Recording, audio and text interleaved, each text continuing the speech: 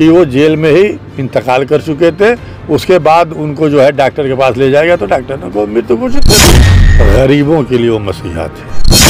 भाजपा के भी बहुत से लोग हैं जो अंदर से बहुत दुखी हैं, खुल के तो नहीं बोल सकते, लेकिन उनको भी दुख है। तमाम लोग आ रहे थे, आँसू बहा रहे थे, रो रहे थे, कब्र पे जा जा के लोग रो रहे थे। हाँ रिकॉर्ड टूट जाएगा, लोग कह रहे हैं, भाई, भाजपा के लोग कह रहे हैं कि साहब जो हुआ वो गलत हुआ है। मुख्तार अंसारी का जब से निधन हुआ है कुछ लोग खुशियाँ मना रहे हैं तो कुछ लोग गम में डूबे हुए हैं। कुछ लोग उन्हें मसीहा कह दिया तो कुछ लोग जो उन्हें गुंडा और माफिया कह रहे हैं। आ, हमारे साथ जो है वरिष्ठ नेता हैं अतहर जमाल लारी साहब। तो बहुत लगाव रहा भी होगा इनका भी उनसे। और अभी शायद मिल के भी आए होंगे। बहुत बहुत स्वागत है सर। आपके चैनल का भी स्वागत है और आपके दर्शकों का भी स्वागत है। जैसे मैं एक एक शब्द में मैं आपसे जानना चाहता हूँ कि मुख्तार अंसारी माफिया या मसीहा? देखिए, गरीबों के लिए वो मसीहा थे।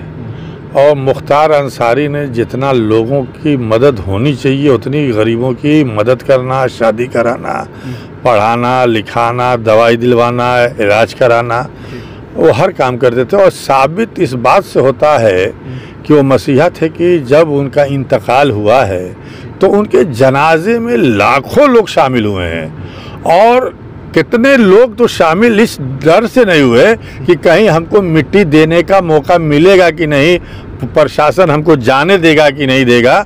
और इसलिए नहीं गए, और उसके बाद देखिए लगातार उनके आवास पे आज मैं गया था। एक हुजूम है, भीड़ है तो वही हुजूम ये ज़ाहिर कर रही है। और तमाम गरीब तबके के लोग, हर हिंदू, मुसलमान, सिख, ईसाई, हर मज़हब के मानने वाले लोग, चाहे वो दलित हो, पिछड़ा हो अगड़ा हो, हर तबके के लोग आज आँसू बहा रहे हैं उनके दरवाजे पे जा कर के उनके कब्र पे जा कर के फूल चढ़ा रहे हैं। मुसलमान जो है फातिया पढ़ रहे हैं, मगफरत की दुआ कर रहे हैं। तो ये दर्शाता है कि वो गरीबों के मसीहा था गरीबों की मदद कर रहे थे। अब कुछ लोगों के लिए जो कहते हैं कि वो गुंडा थे तो भाई वो जो गुंडा और सामंतवादी थे वो जब गरीबों को सताते थे किसी के खेत पे कब्जा कर लेते थे किसी की गाय भैंस उठा ले जाते थे तो उसका मुकाबला भी करते थे और छुड़वाने का काम भी करते थे गरीबों को इंसाफ दिलाने का काम करते थे। तो ऐसे लोग तो कुछ भी कह सकते हैं लेकिन गरीब मजलूम लोगों से पूछिएगा आम जनता से पूछिएगा तो सीधे सा एक सा आ, शब्द कहेगी कि वो हम लोगों के लिए मसीहा थे। और जहाँ तक वो इंतकाल कर गए, हमें मालूम है कि पंजाब से जब से वो आए थे, तब से लगातार वो अपनी जान को ख़तरा बता रहे थे।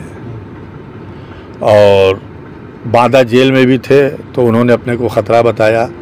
और हाल में कुछ दिन पहले भी उन्होंने कहा कि जो है हमारे जान को ख़तरा है, जिस तरीके से लोग जेलों में मार दिए जा रहे थे और तरह तरह की जेल ले जाते समय, हॉस्पिटल ले जाते समय तमाम हत्याएँ हो रही थी और उनके खिलाफ भी उनके दुश्मन पड़े हुए थे। वो सामने से तो मार नहीं सके, लेकिन जो आज उनका परिवार ये कह रहा है कि उनको स्लो पॉइजन दी गई और उन्होंने भी बार बार कहा और उनके वकील ने कोर्ट में भी ये लिखित दिया कि इनको जहर दिया जा सकता है इनको मारा जा सकता। है उस पर सुप्रीम कोर्ट ने भी कहा था कि इनकी जो है हिफाजत की जाए इनके सिक्योरिटी मुहैया कराई जाए और इसके बावजूद भी उनका खाना जो है चेक करके दिया जाता था और खाना चेक करने वाले भी बीमार पड़ गए थे। कुछ दिन पहले हॉस्पिटलाइज थे एक एक महीना तक वो हॉस्पिटल में रहे। और जो सस्पेंड हुए डिप्टी जेलर से लेकर और तमाम लोग, वो इसीलिए सस्पेंड किए गए कहीं ये राज खोल न दें, इसलिए उनको सस्पेंड कर दिया गया। तो कहीं ना कहीं तो उनको, जो परिवार उनका कह रहा है कि उनको सरों पर पॉइजन दिया गया, जो उनका बेटा कह रहा है, जो उनके भाई कह रहे हैं, उन्होंने खुद अपने भाई से कहा। तो इसमें सच्चाई लग रही है, इसमें कहीं से कोई गलत गलत बात नहीं है। और जिस तरीके से उनका, हम लोगों ने टीवी चैनलों पे देखा कि जिस तरीके से पेट फूला हुआ है, जिस तरीके से उनकी हालत ख़राब हुई रातों रात उनको हॉस्पिटल लाया गया, पूरे हिंदुस्तान में एक वावेला मच गया, तमाम मीडिया में वो छा गए। अब उसको दबाने के लिए तुरंत उनको जो है फिट घोषित करके जो है कोई उनकी सही तरीके से जाँच नहीं हुई, जो बीमारी थी, पेट फूला हुआ था, पेशाब नहीं हो रहा था, तमाम जो हार्ट वगैरह की जो जाँच होनी चाहिए, वो न करके एक्सरे करा के और ये कह दिया गया कि साहब एकदम फिट है और फिर उनको जो है उसी हालत में जो है उनको जेल के बैरक में डाल दिया जाता है, अकेले तनहाई में। अब सोच लीजिए, जब वो फिट नहीं थे और उनके परिवार के लोगों ने कहा भी था कि भाई हम तैयार हैं इलाज कराने के लिए अगर सरकार पैसा बहन नहीं कर सकती तो हमें दे दिया जाए। आप मैदानता में या कहीं भी इलाज करा लें लेकिन सरकार ने ये भी नहीं किया। तो इससे तो साफ़ ज़ाहिर हो रहा है कि कहीं ना कहीं कोई षड्यंत्र हुआ है और उनके साथ जो है इस तरीके की घटना घटित हुई है। बहरहाल लोग सामने से नहीं मार पाए नहीं मुकाबला कर पाए तो तो बुजदिल लोग हैं जो लोगों ने इस तरीके से पीछे से वार किया और उनके एक षड्यंत्र के तहत मारने की कोशिश की गई। अच्छा। अब सरकार भाई जिसकी है तो जो कहेगी तो लोग तो मानेंगे वही बात लेकिन अगर हार्ट अटैक भी हुआ तो क्यों हुआ? इसकी वजह क्या है? क्यों नहीं उनको प्रॉपर ट्रीटमेंट मिला? थोड़ी ही देर के बाद बारह घंटे के बाद उनकी हालत एकदम सीरियस हो जाती है और हमें तो पूरा शक है कि वो जेल में ही इंतकाल कर चुके थे। उसके बाद उनको जो है डॉक्टर के पास ले जाएगा तो डॉक्टर ने उनको मृत्यु घोषित कर दिया। यही हमें लगता है मामला। मतलब आपको लगता है कि जेल में ही ये सारा कुछ हो गया? हमें लग रहा है कि वो जेल में ही दम तोड़ चुके थे। हाँ ये तो एक बात है कि हॉस्पिटल ले जाया गया और हॉस्पिटल में उन्होंने दम भी तोड़ दिया। हमारे उनके भाई अफजाल साहब से तल्लुकात रहे हैं और उन्होंने कौमी एकता दल जो पार्टी बनाई थी तो उसका मैं पदाधिकारी भी था और 2012 में उनकी पार्टी से चुनाव भी दक्षिणी विधानसभा क्षेत्र से लड़ा था। तो भाई हमारे यहाँ तो ये है कि किसी भी किसी की मैयत हो तो उसमें जाना चाहिए उसके लिए मिट्टी देना चाहिए जो हमको सवा मिलता है। तो हमें भी पता चला तो हमको तो ये लग रहा था कि शायद जाने नहीं दिया जाएगा मिट्टी में अ, किसी को अलाउ नहीं की जाएगी। लेकिन जब हमको सुबह आठ बजे पता चला कि नहीं जा सकते हैं और फोर्स तो बहुत है लेकिन हजूम भी बहुत है भीड़ भी बहुत है और प्रशासन रोक नहीं पाएगा। और एक फ़ोन आया हमारे साथी का कि भाई हम लोग तो आए हुए हैं लारी साहब आप आ सकते हैं कोई ऐसी बात नहीं है। तो फिर मैं साढ़े आठ बजे घर से निकला हूँ मैं और निकल के मैं गया उनकी मैयत में। उस वक्त मिट्टी नहीं दी जा रही थी रोक दिया गया था। अच्छा। हाँ लेकिन हम पहुँचे हैं तो पुलिस ने हमको देख करके पूरी बैरिकेटिंग को घेरे हुए थे रस्सी लगा के बांधे हुए थे किसी को अंदर कब्रस्तान में जाने नहीं दे रहे थे। लेकिन पुलिस के लोगों को अधिकारियों को क्या समझ में आया कि हमको जो है अंदर जाने दिए। तो मैं अंदर चला गया और दो एक बनारस के और लोग भी थे जो हमारे पीछे पीछे हो गए। हम अंदर चले गए। तो अब जो है, गेट पे जो है, उनके भतीजे जो है, मन्नू अंसारी जो विधायक हैं, वो खड़े थे तो उन्होंने हमको देख लिया।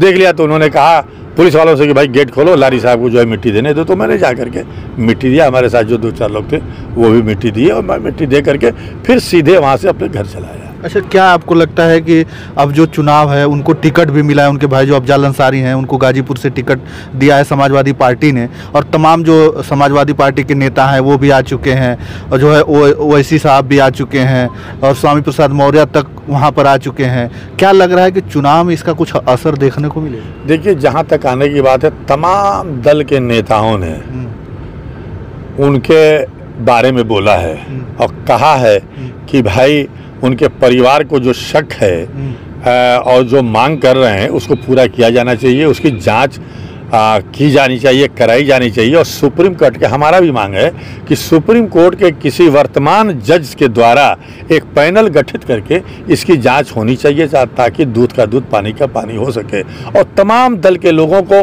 सिंपैथी इस बात को लेकर के है कि वो जेल में जिस तरीके से उनको जहर दिया गया और तमाम लोगों ने हर पार्टी के लोगों ने बयान दिया। हालाँकि भाजपा के भी बहुत से लोग हैं जो अंदर से बहुत दुखी हैं खुल के तो नहीं बोल सकते लेकिन उनको भी दुख है। और हाँ भाजपा के लोग भी बहुत से नेता उनसे मिलने जाते थे जेलों के अंदर। तो उनको भी दुखी दु, इस बात का दुख है कि मुख्तार अंसारी इस दुनिया में नहीं रहे और आम जनता को जो दुख है तो तो दर्शा ही रहा। आज ही मैं गया था अफजाल साहब से मिलने के लिए तो हमने देखा उनके फाटक पर कितनी भीड़ थी। फिर हम कब्रस्तान गए हमारे साथ तमाम हिंदू समाज के लोग थे मौर्य समाज के पटेल समाज के यादव समाज के लोग थे। आ, वो लोग भी गए थे। और उन लोगों ने पुष्प अर्पित किया। हमने जो है मगफरत के लिए दुआ की। तो वहाँ भी बहुत भीड़ थी।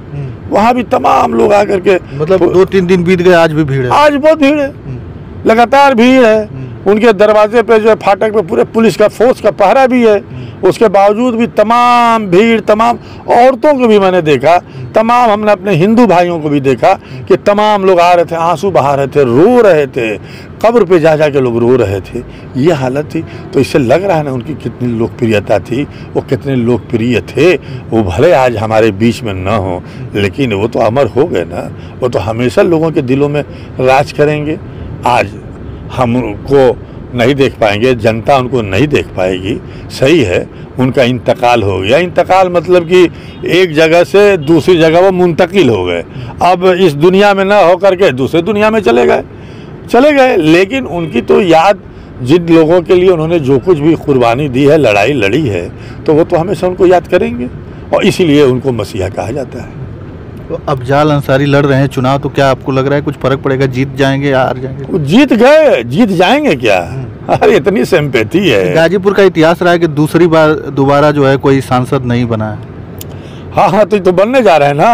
अब तो जीत गए ना इतनी संपेती है लोगों की। रिकॉर्ड टूट जाएगा। हाँ रिकॉर्ड टूट जाएगा लोग कह रहे हैं भाई भाजपा के लोग कह रहे हैं। हम्म। कि साहब जो हुआ वो गलत हुआ ये नहीं होना चाहिए था। और वो भी ये लोग घबरा रहे हैं कि अब किसको लड़ाया जाए अब तो इनको तो बहुत ज़बरदस्त सिंपैथी मिल रही है अब तो जीत जाएँगे। तो अब उम्मीदवार भी उनको मिलना मुश्किल हो जाएगा और उम्मीदवार जो लड़ने आएगा वो भी सोच के ही आएगा कि हमको जो है हारना है। चलिए बहुत बहुत धन्यवाद हमसे जुड़ने के लिए हमारे साथ जो है वरिष्ठ नेता समाजवादी पार्टी के अतहर जमाल लारी साहब थे और तमाम अपनी बातों को रखे हैं बेवाकी से। आप लोगों को, कैसा लगा हमें कमेंट के माध्यम से ज़रूर बताइएगा और इस वीडियो को ज़्यादा से ज़्यादा शेयर ज़रूर कीजिएगा। धन्यवाद।